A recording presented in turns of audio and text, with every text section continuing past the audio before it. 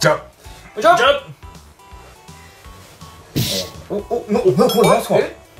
ロッテ阪神戦か。は井上誠也がなんか久しぶりに「おなんとか」みたいなのがあったよね。言ってましたね。後輩後輩が暴れたんですかいや後輩が暴れるというかさ。キャッチャッチャーにちょっと暴れるまではいかないけどな。ほんでね井上誠也にね、はい。話聞いたの。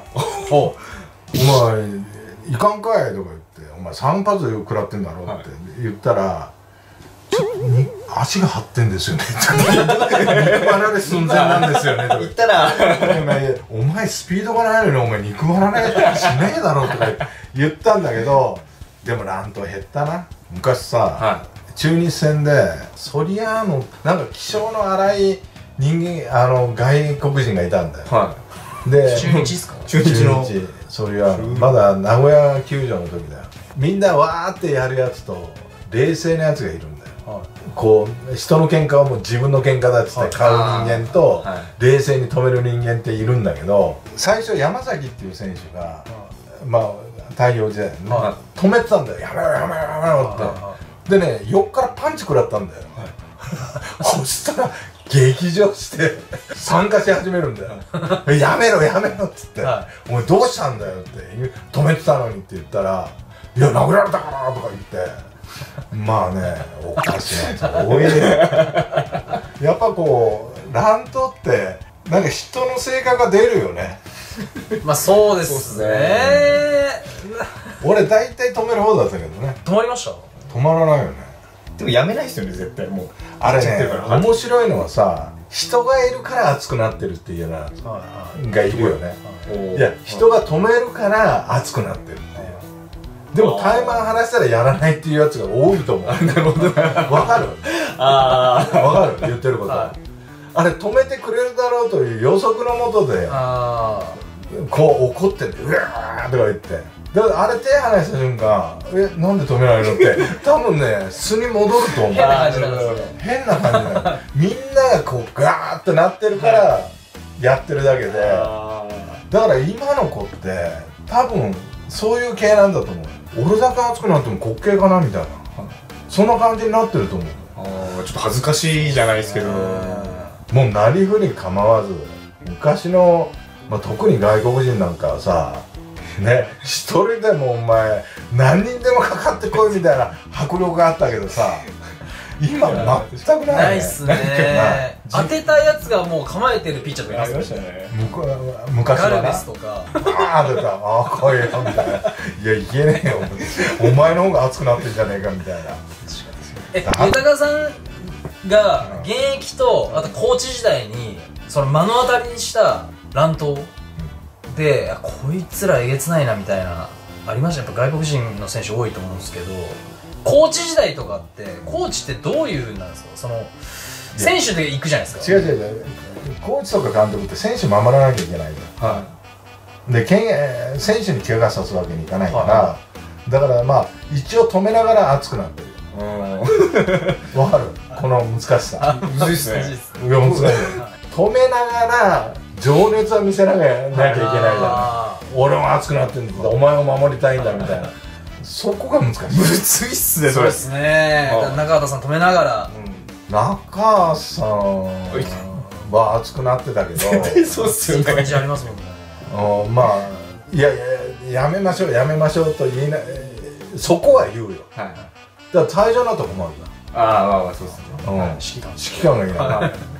えじゃあやめましょう。よいや選手が熱くなった時はやっぱ止めながら選手の言う通りだっていう主張を言ってやらないとさこっちがまあまあ味方しないとやっぱりいけないっすよね。でも違うなって思う時もあるんだけどね。いやこれもう完全にお前が間違いながら 間違ってんだけどっていうのはあるまあ、アウトセーフ。まあ昔はこうあれがなかったから。リクエスト。リクエストがなかったから。まあベンチから見ててもえ？いやいやアウトでしょみたいな。普通にみたいな、でも熱くなってまあそこは審判なんだけど、はね？審判なんだけどあいやいやお前お前だお前なんで体がどこ見てんのみたいないやいやみたいなウインクしながらいややってやらなきゃかわいそうじゃない滑稽じゃないお笑いでもそうでしょそうですねここ受けるとこ置いていかれたらどうするちょっと嫌いよ嫌ですね知りたいですね知りたくなりますよそうでしょはいやだからそれと一緒でそういうテクニックもあるという豊さん結構そのあれですか感情あらわにするタイプではないプじゃあでも当てられることありましたねそれは。なでもそれはうん。その時はもうどうですかもうしょうがないなと思ってああ避けれんかったって思う時もある。しあはい。あこれ完全に足がこっち向いて投げてくるから。あ完全に狙ってんな。当てに来て、うん。そういう時やっぱちょっと軽く睨みは効かすんですか？やりやがったまあまあそれもちろん睨みも聞かすしキャッチャーにも言うよね。お前完全に向かってんな言うて。へ言う時もあったよでも足速いからこう出したちょっとバーンってやってあブワーって逃げたら。なんか殴り殴って逃げる。スーパーカトリオで一番かっこ悪いのはさ逃げるっていう行為でしょ。情けないよねあれ。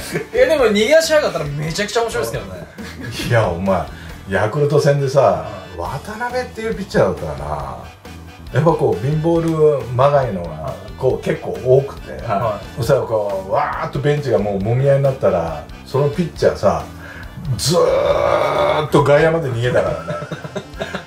それをあピッチングコーチが追っかけてたんだよ。肉離れだって。もうね笑うよ。やばいっす逃げ切ったから逃げ切んじゃねえよみたいな。もうランメニューみたいな。戦えよみたいな。ね。やばいっすね。でも昔ってあのバッキーっていう阪神のピッチャーがいたの外国人が。はで王さんの頭かなんかに当てたのいおおはい。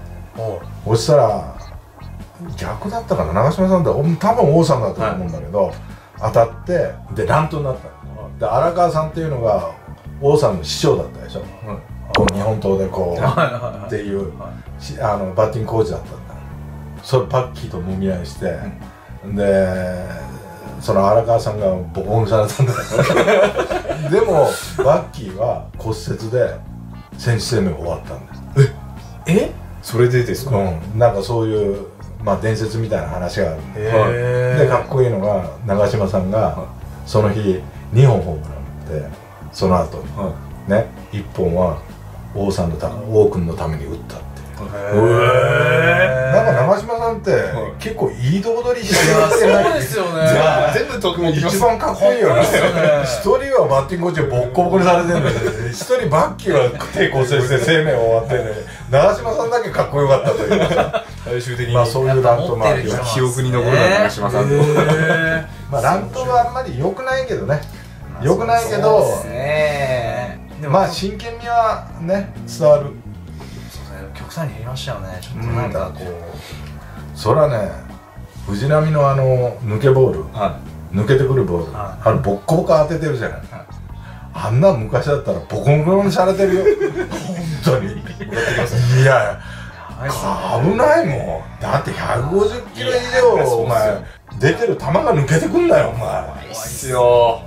いやそう命に関わるいやほんとそうっすよね。だからまあそうそう昔だったら、はい。多分ボコボコにされてる。でもさメジャーも減ったな。ああ確かにメジャーも。メジャー半端なかったよメねジャーやばかったっすよね。もうボクシングでしたもんね。格闘技ですもんね。野球じゃなかったっすよでも全員いかついし。もうだから昔はさこうヤジとかもひどかったの。あね。で各チームのそのヤジ将軍だとか、ーはなんかこう生きってるやつがいるじゃん。い。はなんかそのために入ってるみたいなベンチでヤジ要員みたいな。あはい。乱闘あったら行くぞってあいつのとこに それをやったのが中日広島だよ。広島市民球場で。はと盗塁かなんかゲッツーの時に腹にタッチしたんだよ。い。はそしたらほ相手が星野さんで、ね、星野さんは何かあったら行けっていうなんか闘争心を植え付けようとして選手にこう指導してたんだよ。はだから腹に腹にタッチ受けたやつが「えー!」とか怒り出したんだよ。そしたら一斉に広島が出てって そいつじゃないんだよ。その岩本っていう選手だったからい。はここ行ってボッコボコにされたよこいつ。い うわ。いもう狙いはもう定まってたんです狙いねは定まってるロックオンされたらもう。やったら行くぞ。ロックオンしてるから。そしたらもう終わった瞬間にそいつ見たらユニオンボロボロでもうこんな放心状態なんだまあ乱闘は見たくないけども、はい。そうですね。まはあたまにはいいんじゃないかたまには。いたまにはちょっと。はい。お願いしたいですね。たまにはお願いします。まあそういうことで。はい